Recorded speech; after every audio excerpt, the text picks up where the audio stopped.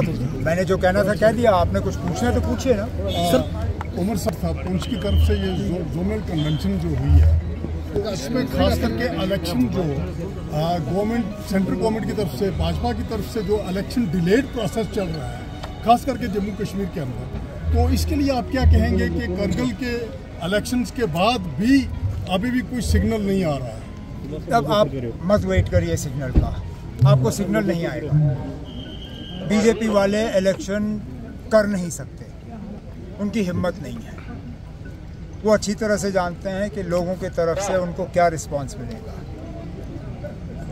Parliament election कराना शायद इनकी मजबूरी है।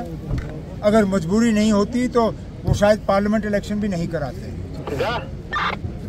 नहीं तो अभी तक सुप्रीम कोर्ट में तो गवर्नमेंट ऑफ़ इंडिया ने कहा था कि यहाँ अर्बन लोकल बॉडीज़ और पंचायत के इलेक्शन होंगे।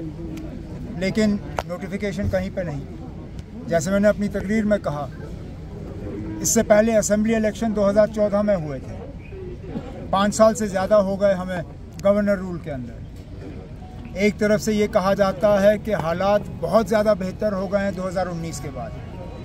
अगर बेहतर हुए हैं तो इलेक्शन क्यों नहीं? इलेक्शन शायद सिर्फ़ इसलिए नहीं कराए जा रहे हैं क्योंकि बीजेपी वाले जो हैं वो लोगों का सामना नहीं कर सकते। दिल में उनका हाल हुआ वो बाकी जम्मू कश्मीर में भी होगा।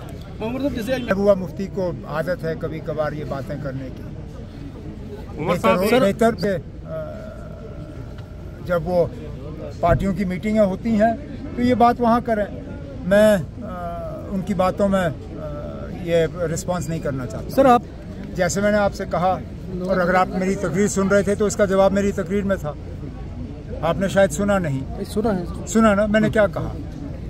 कि परमानेंट करने से पहले ये तय करना ज़रूरी था कि हैं कितने।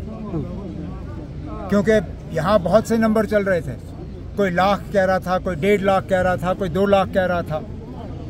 बिना ये जाने हुए कि हमको कितने रेगुलराइज करने हैं।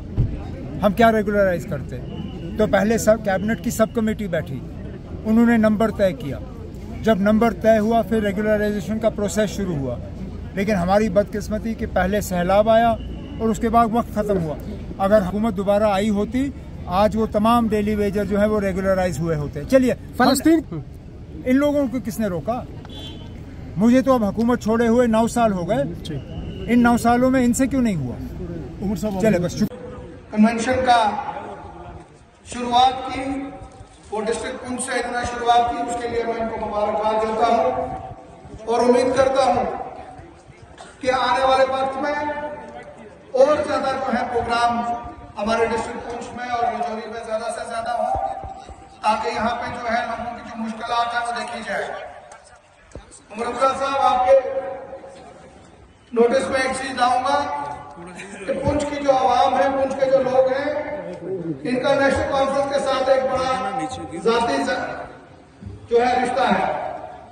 बहुत सी मुश्किल आई, बहुत सी परेशानियाँ आई लेकिन कुछ के लोगों को मुबारकबाद दूँगा कि गाँव सरपंच का इलेक्शन हो म्यूनसिपलिटी का इलेक्शन हो, या वो बीडीसी का इलेक्शन हो, या अपना डीडीसी का इलेक्शन हो, बीजेपी का एक भी शख्स यहाँ से जीत के नहीं जा सका, उसके लिए मैं पूछ के आवाम को मुबारकबाद दूँगा